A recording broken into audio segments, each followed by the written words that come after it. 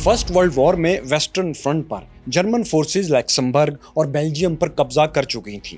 Paris उनके निशाने पर था, लेकिन मशरक में ईस्टर्न फ्रंट पर सूरत हाल बिल्कुल मुख्तलिफ़ थी। यहाँ जर्मन सरजमीन पर रशियन फोर्सेस का हमला जारी था। हमलावर रूसी फौज, तादाद और ताकत दोनों में कहीं बढ़कर थी। इन्होंने जर्मनी का बॉर्डर भी क्रॉस कर लिया था। जर्मन कमांडर्स घबरा गए थे और अपनी हाई कमान को दुहाई दे रहे थे कि हमें बचा लो, हम इस सफ़ेद रीच का मुकाबला नहीं कर सकते। जर्मनों के लिए ये डू एंड डाई सिचुएशन बन चुकी थी। उन्हें हर कीमत पर अपने वतन का दिफा करना था। क्या जर्मन फोर्सेस इस सफ़ेद रीच को रोक पाई? गैलीपोली के महाज पर, तुर्की में कमज़ोर उस्मानी सल्तनत ने सुपर पावर बरतानिया और फ्रांस की ज्वाइंट पावर का मुश्तरका ताकत का मुकाबला कैसे किया? मैं हूँ फैसल राइज और देखो सुनो जानो की सीरीज़ फ़र्स्ट वर्ल्ड वॉर की दूसरी किस्त में हम आपको यही कहानी दिखाएँगे।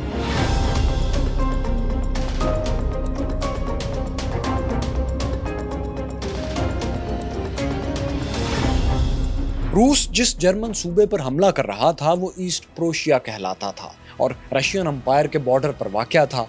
लेकिन जर्मन हाईकमान का अंदाज़ा था कि रूसियों को इस पर हमला करने में कम अज़ कम छः हफ़्ते लग जाएँगे।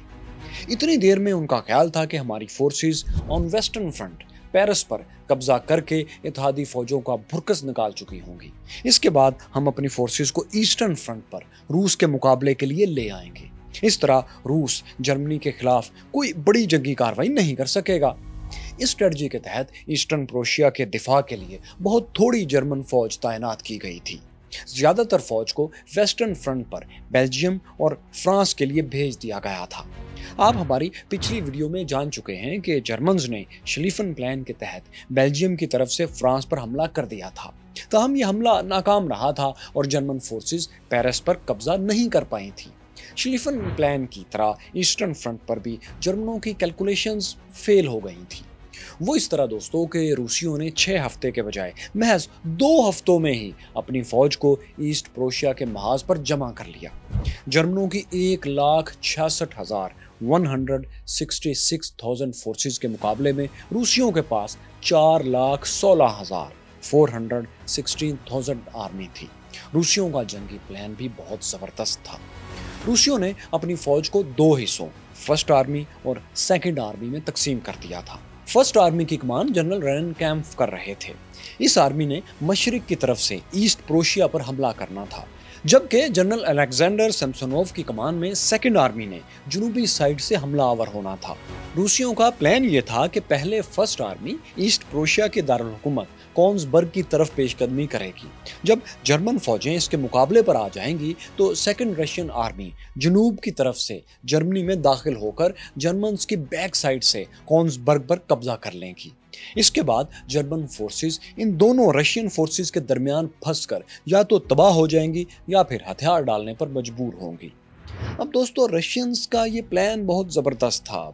हम इसमें ट्रेनिंग की और तकनीकी खामियाँ थी। वो ये कि रूसी फौजी इस लड़ाई के लिए पूरी तरह ट्रेन नहीं थे। दूसरा ये कि वो इस इलाके से भी, यहाँ की जियोग्राफी से भी अच्छी तरह वाकिफ नहीं थे। रशियन फ़र्स्ट आर्मी और सेकेंड आर्मी की पोजिशन के दरमियान में बहुत सी झीलें थीं लेक्स थीं, जिन्हें मैसोरियन लेक्स कहा जाता था। इन झीलों की वजह से ये दोनों फौजें वक्त पड़ने पर एक दूसरे की मदद नहीं कर सकती थी। इसके अलावा एक अहम मसला ये था कि फ़र्स्ट और सेकंड आर्मीज के कमांडर्स जनरल पॉल और जनरल सैमसनोव ज़ाती तौर पर एक दूसरे के सख्त खिलाफ थे। ये प्रोफेशनल जेलसी थी या कुछ और मामला था, हम नहीं जानते, लेकिन दोनों का एक दूसरे की मौसर मदद करने का इम्कान बहुत ही कम था। इस सब के अलावा दोस्तों, एक और मसला भी था कि रूसी कमांडर्स के पास अपनी फोर्सेस से रबते का कोई खुफिया निज़ाम सीक्रेट सिस्टम नहीं था। यानी वो कोड वर्ड्स में एक दूसरे को पैगाम नहीं भेज सकते थे। इसकी वजह यह थी कि हर फौजी दस्ते के पास वायरलेस कम्युनिकेशन की जो कोड बुक थी, वो बाकियों से मुख्तलिफ़ थी। यानी ये भी एक तकनीकी और ट्रेनिंग की खामी थी। चुनाचे रूसी कमांडर्स ने तय किया कि वो वायरलेस पर कोड्स वर्ड्स के बजाय सीधे सीधे पैगाम भेजेंगे। सो जब उन्होंने ये सिलसिला शुरू किया कि साफ़ साफ़ बात कहने लगे तो जर्मन्स अपने वायरलेस सेट्स पर भी ये सारी गुफ्तु सुन लिया करते थे और मनसूबे को जान जाते थे। बहरहाल, इन सब मसाइल के बावजूद रूसियों को तादाद का नंबर्स का एडवांटेज तो था। चुनाचे शुरू के चंद रोज उनका हमला, रशियंस का हमला बहुत ही कामयाब रहा। फ़र्स्ट आर्मी 15 अगस्त को जर्मन बॉर्डर क्रॉस करके ईस्ट प्रोशिया में दाखिल हो गई। इसके मुकाबले पर जर्मन्स की एट्थ आर्मी थी, जिसके कमांडर मैक्सिमिलियन प्रेटवेट्स थे। रूसियों ने 17 और फिर 20 अगस्त को दो बार जर्मन फोर्सेस को शिकस्त से दो चार किया। इस दौरान जर्मन कमांडर प्रेटविट्स को ये इंटेलिजेंस भी मिल गई थी कि रूसियों की सेकेंड आर्मी भी जर्मनी में दाखिल हो चुकी है। उन्होंने बर्लिन में जर्मन हाई कमान को पैगाम भेजा कि मेरी फौज दुश्मन के घेरे में आने वाली है। मुझे ईस्ट प्रोशिया खाली करने की इजाज़त दी जाए। लेकिन जर्मन हाईकमान ने उनकी बात मानने के बजाय उन्हें ही बरतरफ कर दिया। उनकी जगह जर्मनी के दो और मंजे हुए कमांडर्स को ईस्ट प्रोशिया भेज दिया गया। ये नए कमांडर्स थे हेडनबर्ग और लोडनडॉफ अड़सठ साल 68 ईयर्स ओल्ड हैंडनबर्ग तो रिटायर हो चुके थे, लेकिन इस अहम मार्के के लिए, उन्हें खास तौर पर ड्यूटी के लिए बुलाया गया। लुडनडॉफ उस वक्त वेस्टर्न फ्रंट पर तैनात थे। बेल्जियम के शहर ली एच पर कब्जे की लड़ाई, जिसके मतलब हमने आपको पिछली वीडियो में दिखाया था, वो भी इन्हीं की कमान में लड़ी जा चुकी थी। उस जंग में जर्मनों को फतह मिली थी और वो ली एच पर काबिज होकर फ्रांस की तरफ़ पेशकदमी करने लगे थे।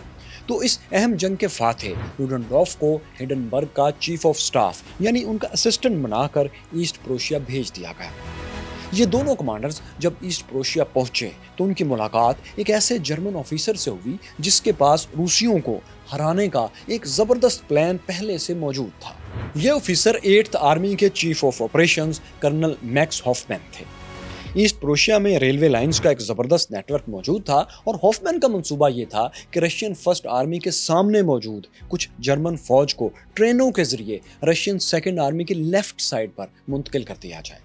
जब ये आर्मी आगे बढ़े तो जर्मन्स इसे पीछे से घेर कर इसकी सप्लाई लाइन काट देंगे और इसे तबाह कर देंगे। ये प्लान उन्होंने लुडनडॉफ और हिंडनबर्ग को पेश कर दिया। दोनों कमांडर्स को ये पसंद आया। उन्होंने इसमें कुछ टेक्निकल तब्दीलियाँ की और फौरी तौर पर इसे नाफिज करने का हुक्म दिया। जर्मन फौज का कुछ हिस्सा ट्रेनों में बिठाकर तेज रफ्तारी से रशियन सेकेंड आर्मी की लेफ़्ट साइड पर भेज दिया गया। इसके बाद सेकेंड आर्मी की पेशकदमी के रास्ते में भी जर्मन फौजें जमा होने लगी। इस डिप्लॉयमेंट में जोग्राफिया ने जर्मन की बहुत मदद की। जर्मन फौजी आसानी से जंगलों और छोटी छोटी आबादियों में छुप कर दुश्मन की नज़रों में आए बगैर इसके करीब पहुँच सकते थे। दूसरी तरफ़, रशियंस के लिए इन जंगलों में अपने मुख्तलिफ़ यूनिट्स से रबता कायम रखना बहुत मुश्किल काम था। इसका नतीजा ये निकला कि सेकेंड रशियन आर्मी जब ईस्ट क्रोशिया में दाखिल हुई तो इसके मुख्तलिफ़ दस्ते जंगलों में इधर उधर बिखर गए। चुनाचे अब जन्नों ने, सामने और साइड से दुश्मन के मुख्तलिफ़ दस्तों पर अलग अलग हमले करके इन्हें घेरे में लाना शुरू कर दिया। जबकि जर्मन फौज का ये हिस्सा, जो रूसियों की लेफ़्ट साइड पर था, उसने दुश्मन की बैक साइड पर पहुंचकर वापसी का दरवाज़ा बंद कर दिया। इस दौरान जर्मन्स ने फ़र्स्ट आर्मी पर भी हमले शुरू कर दिए, ताकि उनकी पेशकदमी सुस्त की जा सके।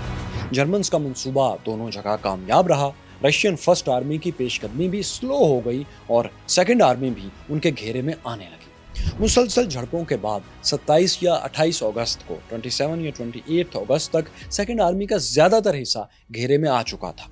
जर्मनों ने इस घेरे में आई फोर्स को दो रोज तक शदीद बमबारी का निशाना बनाया। इस गोलाबारी में हज़ारों रूसी फौजी मारे गए। इस दौरान रशियन फ़र्स्ट आर्मी, कमांडर्स की दुश्मनी और कुछ अपनी फौजी मुश्किल की वजह से उनकी मदद को नहीं आ सकी। यूँ सेकेंड रशियन आर्मी तनहा रह गई और इसके सिपाही सरेंडर करने लगे। 31 अगस्त तक 31 अगस्त तक फौज के बड़े हिस्से ने सरेंडर कर दिया था। सेकेंड आर्मी की डेढ़ लाख फोर्स में से अड़तालीस हज़ार फौजी 48,000 सोल्जर्स मारे जा चुके थे और बानवे हज़ार नाइन्टी गिरफ़्तार हुए। महज दस हज़ार रूसी फौजी जान बचाकर रूस पहुँच सके थे। इसके अलावा जर्मनों ने 500 रूसी तोपें भी कब्जे में ले ली। रूसियों से छीना गया जंगी साजो सामान इतना ज़्यादा था कि इसे 60 ट्रेनों में भरकर बर्लन भेजा गया। रूसी कमांडर अलेक्जेंडर सैमसनोफ गिरफ़्तार नहीं हुए थे, लेकिन वो शिकस्त पर इस कदर गमजदा ज़रूर हुए कि उन्होंने खुदकुशी कर ली, अपने रिवॉल्वर से अपने सर में गोली मार ली। इस सब के मुकाबले में दोस्तों, जर्मनों का जानी नुकसान बहुत कम था। महज तेरह हज़ार आठ सौ तिहत्तर फौजी हलाक जख्मी या लापता हुए। जर्मनों ने सेकेंड आर्मी को तबाह करने के बाद इस महाज से अपनी ज़्यादातर फौज को रशियन फ़र्स्ट आर्मी के मुकाबले पर भेज दिया। इसके बावजूद रशियन फ़र्स्ट आर्मी कुछ अरसे तक जर्मन इलाके में पेशकदमी करती ही रही, आगे बढ़ती रही। 10 सितंबर तक वो कोनिसबर्ग के करीब पहुँच चुकी थी। तहम जर्मनों ने शदीद हमले करके इसे भी पीछे धकेल दिया। अगले चंद माह भी लड़ाई का सिलसिला जारी रहा। फरवरी 1915 1915 तक तमाम रूसी फौजें ईस्ट क्रोशिया से निकाली जा चुकी थी।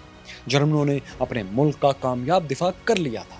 इस जंग को बैटल ऑफ़ टेननबर्ग का नाम दिया गया, जिसकी वजह करीबी कस्बे का यही नाम था। इस फतह पर चांदी का एक यादगारी सिक्का भी जारी किया गया, जिसमें देखा जा सकता है कि हंडनबर्ग तलवार उठाए खड़े हैं और रूसी रीच उनके कदमों में पड़ा है, जैसे उन्होंने शिकार किया हो। टेननबर्ग के असरात बहुत ही गहरे थे। इस जंग के बाद ईस्ट प्रोशिया में जर्मन एक नाकाबले शिकस्त ताकत बन गए। लेकिन उनके इतिहादी ऑस्ट्रो हंगेरियन अम्पायर के सोल्जर्स रशियंस के सामने बेबस नज़र आ रहे थे। फ़र्स्ट वर्ल्ड वॉर में रूसियों ने ऑस्ट्रेलियंस को एक ऐसी शिकस्त दी कि इनकी टेननबर्ग में हारने की रसवाई कुछ कम हो गई। ये जंग ऑस्ट्रेलियन इलाके लेम्बर्ग में लड़ी गई थी।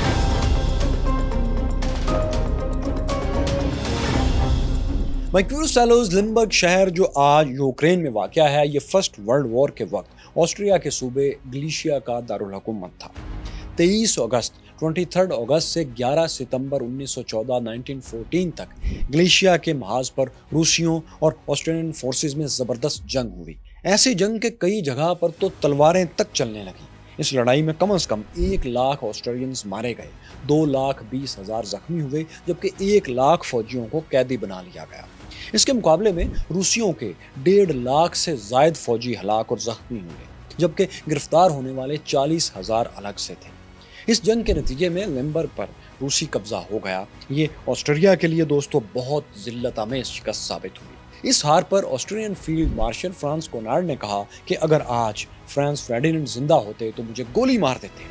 ये फ्रांस फेडिनेंट दोस्तों ऑस्ट्रेलिया के वही वली अहद हैं जिनके कत्ल की वजह से फ़र्स्ट वर्ल्ड वॉर शुरू हुई थी। तो खैर साथियों लिम्बर की फतह ने रूसियों के हौसले बुलंद कर दिए। वो आगे बढ़े और लिम्बर के मगरब में तकरीबन छियानवे किलोमीटर दूर 96 किलोमीटर दूर एक शहर परजी माइसी का मुहासरा कर लिया। इस शहर और इसके इर्द गिर्द के मुख्तलिफ़ रास्तों पर कई हिफाजती किले मौजूद थे। इन किलों में बैठकर तकरीबन एक लाख से जायद ऑस्ट्रेलियन सोल्जर्स ने रूसियों का कई माह तक डट कर मुकाबला किया। शहर के हिफाजती किलों पर कब्जे के लिए बड़ी सख्त लड़ाइयाँ होती रहीं। सिपाही तलवारों और संगीनों से एक दूसरे को कत्ल करते रहे। शहर का मुहासरा 16 सितंबर 1914 1914 से 22 मार्च 1915 1915 तक जारी रहा। यानी तकरीबन 133 दिन 133 डेज़ इस दौरान रूसियों की शदीद बमबारी से शहर का बड़ा हिस्सा मलबे का ढेर बन गया। कई किले भी बुरी तरह तबाह हुए। जब मजीद मुजाहमत, मुकाबला बस से बाहर हो गया तो ऑस्ट्रेलियन आर्मी ने सरेंडर करना शुरू कर दिया। कहते हैं कि जब इस एक और शिकस्त की इतला ऑस्ट्रेलियन शहनशाह को मिली तो वो फूट फूट कर रोने लगे। यूँ दोस्तों, रूस की ऑस्ट्रिया के महाज पर 1915-1915 के शुरू में एक फातहाना मार्च की सूरत हाल पैदा हो गई।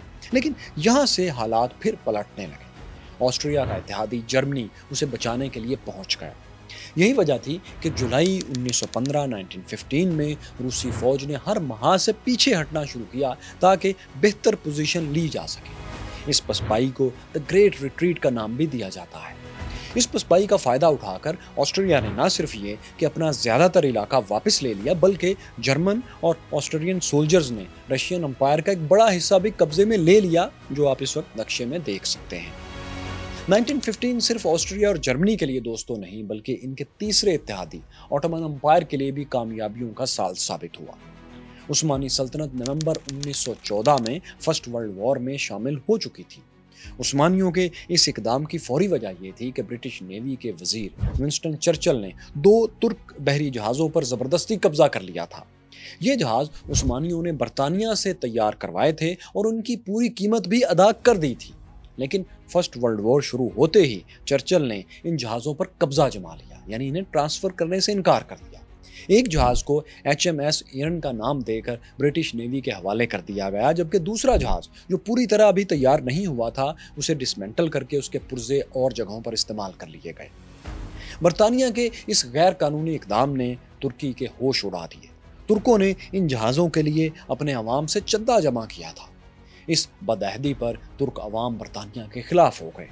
इस कमी को पूरा करने के लिए जर्मनी ने अपने दो बहरी जंगी जहाज़ गोएबन और ब्रिस्लाओ तुर्की के हवाले कर दिए।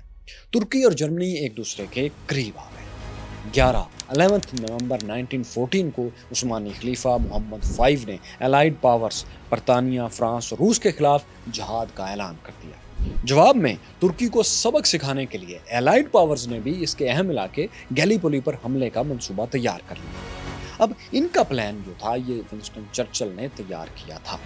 गैलीपोली दर्रा दानियाल डार्डेनियल के किनारे पर वाक़ था। अगर एलाइज इस पर काबिज हो जाते तो उनके जंगी जहाज़ यहाँ से बासानी गुजर कर तुर्क मरकज कुस्तुनतुनिया पर, जो कि अब इस्तंबुल है, वहाँ कब्जा कर सकते थे। यूँ, उनके लिए बास्फोरस स्ट्रेट के ज़रिए ब्लैक सी तक का सारा बहरी रास्ता खुल जाना था, जिसके बाद वो अपने इतिहादी रूस तक असलहा और सामान आसानी से पहुँचा सकते थे। इसके अलावा वो मशरक की तरफ़ से जर्मन इतिहादी बल्गारिया पर भी हमला कर सकते थे। फिर बल्गारिया के साथ यूनान और रोमानिया पर दबाव डालकर उन्हें भी जर्मनी के खिलाफ जंग पर मजबूर कर सकते थे। यानी अगर ये मंसूबा कामयाब रहता तो आखिर में बरतानवी और फ्रांसीसी फोर्सेस यूनान और रोमानिया से मिलकर मशरक की तरफ़ से जर्मनी और ऑस्ट्रेलिया पर भरपूर हमला कर रही होती। जबकि वेस्टर्न फ्रंट पर तो वो पहले ही जर्मनों से लड़ रही थी। यानी जर्मनी, मशरक और मगरब दोनों तरफ़ से उनके घेरे में आ जाता। ये प्लान ऑन पेपर तो दोस्तों बहुत शानदार था। उस्मानी सल्तनत वैसे भी रूस और दीगर हमसाया रियासतों से जंगों के बायस काफ़ी कमज़ोर हो चुकी थी। इत्यादियों को एलाइड पावर्स को पूरा यकीन था कि उनका मंसूबा फूल प्रूफ है। लेकिन आप जानते हैं कि किसी भी लड़ाई में पहला कत्ल प्लानिंग ही का तो होता है। बरतानिया और फ्रांस के साथ भी यही कुछ हुआ। तुर्कों और उनके इत्यादि जर्मनों को दुश्मन के अजायम का पूरा अंदाज़ा पहले से था। इसीलिए जर्मनी ने अपना एक फौजी mission lieutenant general Otto Liman की कमान में तुर्की भेज दिया था। इस फौजी मिशन की हदायत के मुताबिक तुर्की की फिफ्थ आर्मी ने गैलीपोली में पोजीशन संभाल ली थी। इस उस्मानी फौज के कमांडर्स में लेफ्टिनेंट कर्नल मुस्तफ़ा कमाल पाशा भी शामिल थे। वो तुर्कों की उन्नीसवीं नाइनटीन डिवीज़न की कमान कर रहे थे। जमीनी फोर्सेस के साथ तुर्की की नेवल फोर्सेस भी एक्टिव हो गई थी। एक तुर्क बहरी जहाज़ नुसरत ने दर्रा दानियाल में समंदर के अंदर बारूदी सुरंगें भी बिछा दी थी। 18 मार्च 1915 को ब्रिटिश और फ्रेंच नेवीज के 16 जहाज़ 16 शिप्स दर्रा दानियाल में दाखिल हुए। इनका मकसद नुसरत की बिछाई हुई बारूदी सुरंगें हटाना था। तहम दर्रा दानियाल के दोनों तरफ़ तैनात तुर्क तोपखाने की शदीद बमबारी ने इन्हें इसकी मोहलत नहीं दी। इस जंग में दोस्तों एक 26 साल तुर्क तोपची सैयद अली चाबक ने बहादुरी की नई तारीख रकम कर दी। ये दलेर जवान जिस तोप से दुश्मन पर गोले बरसा रहा था, उसमें 375 375 किलोग्राम वजनी गोले डाले जाते थे। इतने भारी भरकम गोले कोई आम इंसान, आम हालात में उठा ही नहीं सकता था, इसीलिए इस काम के लिए एक क्रेन मौजूद थी। लेकिन दोस्तों, सैयद अली चाबक की गन से मुंसलिक ये क्रेन खराब हो गई, जिसके बाद अली चाबक ने यह किया कि वो खुद ही भारी भरकम गोले कमर पर उठा उठा कर गन तक लाने लगे और खुद ही फायर करने लगे। ये बहादुरी और मुशक्क़त का बेमिसाल मुजाहरा था। लेकिन ज़ाहिर है हीट ऑफ़ द मोमेंट में, जंगी जोश में किया गया ये एक अमल था। यही वजह थी कि लड़ाई के बाद, जब एक बार उन्हें इतना ही भारी गोला उठाने का कहा गया तो वो इसे नहीं उठा सके। हाँ तारीख के रिकॉर्ड के लिए उन्होंने लकड़ी का एक मॉडल गोला उठाकर तस्वीर ज़रूर बनवा ली। इन्हें उस्मानी सल्तनत की तरफ़ से गैलीपोली स्टार का मेडल भी दिया गया। ये वो मेडल था जो सैयद अली की तरह गैलीपोली में बहादुरी के जोहर दिखाने वाले बहुत से दूसरे जवानों को भी दिया गया था। मॉडर्न तुर्किया के बानी मुस्तफ़ा कमाल को भी ये मेडल मिला था। सैयद अली चाबक की यादगारें दोस्तों तुर्की में कई जगहों पर बनाई गई हैं और इनके कतबे पर भी यही गोला उठाकर चलने वाला एक नक्श कम्मा किया गया है।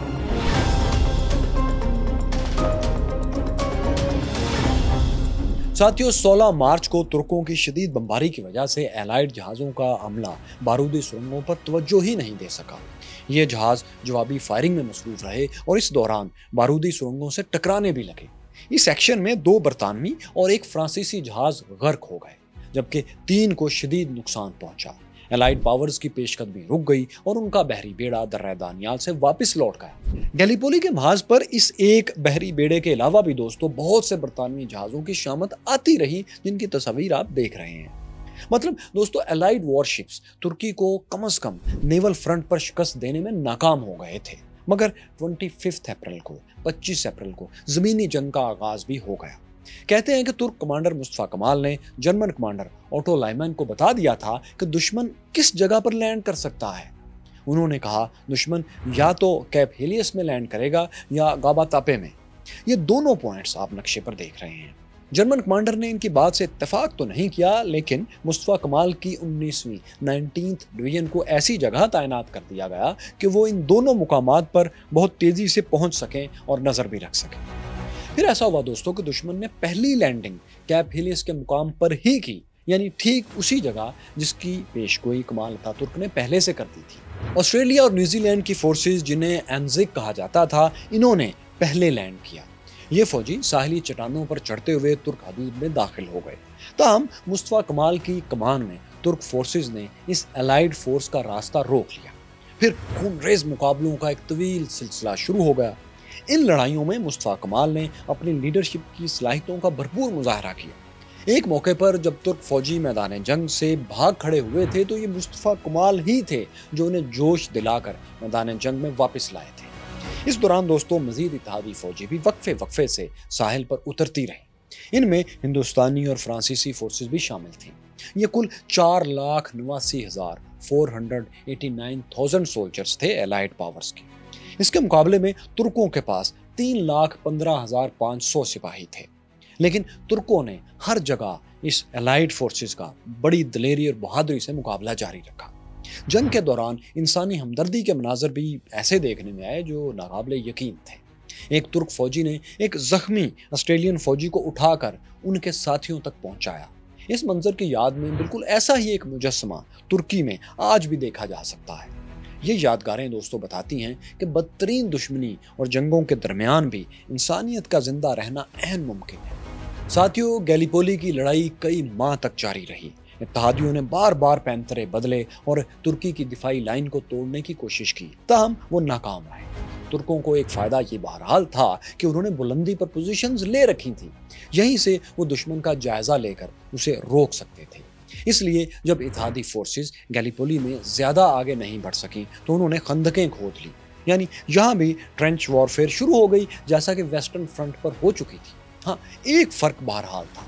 वो ये कि एलाइड पावर्स ने इतिहादियों ने वेस्टर्न फ्रंट के बरक्स यहाँ ट्रेंच वॉरफेयर को ज़्यादा तूल नहीं दिया। क्योंकि वहाँ तो एलाइज मजबूर थे कि उन्हें हर कीमत पर पेरिस और फ्रांस का दिफा करना था। लेकिन गैलीपोली में लंबी ट्रेंच वार का उन्हें कोई फ़ायदा नहीं था। वो समझ चुके थे कि गैलीपोली के महाज पर वो जीत तो नहीं सकते। जिसका दूसरा मतलब ये था कि गैर ज़रूरी तौर पर इस महाज पर इतनी ज़्यादा ताकत बेकार पड़ी रहेगी। वैसे भी आप जानते हैं कि ट्रेंचेज में सोल्जर्स दुश्मन की बमबारी से ज़्यादा बीमारियों से लड़ते हैं। चुनाचे उन्होंने अलाइज पावर ने खामोशी से यहाँ से अपनी फौज को निकालना शुरू कर दिया। जनवरी 1916 1916 तक अलाइड फोर्सेस इतनी खामोशी से गैलीपोली छोड़ गई कि तुर्कों को कानो कान खबर ना हो। वो ऐसे कि एलाइड पावर्स ने डमी गन्स और डमी सोल्जर्स को इस तरह इंस्टॉल किया कि तुर्क फोर्सेस बहुत देर तक, कई घंटों तक यही समझती रहीं कि अभी एलाइड सोल्जर्स यहाँ मौजूद हैं। जब तुर्क फोर्सेस को बहुत देर बाद ये अंदाज़ा हुआ कि असल एलाइड फोर्सेस तो जा चुकी हैं, ये तो डमी गन्स और डमी सोल्जर्स हैं तो वो कुछ नहीं कर सके, क्योंकि एलाइड पावर्स मैदान छोड़कर रिट्रीट कर चुकी थी। और ये रिट्रीट इतना कामयाब था कि इसमें अलाइड फोर्सेस के सिर्फ़ दो फौजी जख्मी हुए। जंगी तारीख का दोस्तों एक नाकाबले फरामोश टेक्स्ट बुक केस है। गैलीपोली की जंग दोस्तों, अप्रैल 1915 से जनवरी 1916 1916 तक जारी रही, तकरीबन नौ माह। इस लड़ाई में अलाइड पावर्स यानी बरतानिया और फ्रांस समेत तमाम फोर्सेस के कुल मिलाकर तीन लाख अड़तालीस हज़ार सोल्जर्स हलाक, जख्मी या गिरफ़्तार हुए, जबकि उस्मानी फोर्सेस को एक लाख साठ हज़ार से ज़्यादा सोल्जर्स का नुकसान उठाना पड़ा। कुछ कहते हैं कि दोनों का नुकसान बराबर ही था। खैर, जो भी था, आखिर में नतीजा ये था कि ओटोमन अम्पायर की फोर्सेस ने फतह हासिल कर ली थी। गैलीपोली में शिकस्त के बाद बरतानवी हुकूमत शदीद दबाव में आ गई। इस शिकस्त की सजा विंस्टन चर्चिल को भुगतना पड़ी, जो गैलीपोली हमले के मास्टरमाइंड थे। उन्हें नेवी के वज़ीर फ़र्स्ट लॉर्ड के अहदे से हटा दिया गया। यूँ दोस्तों 1915 1915 का साल ईस्टर्न फ्रंट पर सेंट्रल पावर्स के लिए बहुत अच्छा साबित हुआ। मगर उन्हीं महीनों में वेस्टर्न फ्रंट पर जर्मनों और इतिहादियों के दरमियान स्टेलमेट बरकरार रहा। इस स्टेलमेट को तोड़ने के लिए जर्मनों ने एक बड़ा अटैक लॉन्च किया। यह हमला पहली जंग अजीम की तवील तरीन लड़ाई साबित हुआ। यह हमला क्या था और इसका इंजाम क्या हुआ? फ्रांसीसियों को फतह का रास्ता किसने दिखाया? ये सब दोस्तों आपको दिखाएँगे, लेकिन फ़र्स्ट वर्ल्ड वॉर की अगली किस्त में। मक्यूरस सैलोज, फ़र्स्ट वर्ल्ड वॉर शुरू कैसे हुई, इस पर आप हमारी ये शानदार पहली किस्त ज़रूर देखिए। यहाँ जानिए कि पाकिस्तान आज जैसे हालात से गुजर रहा है, ऐसा क्यों है? और ये रही हिस्ट्री ऑफ़ पाकिस्तान की तमाम एक साथ एक साथ।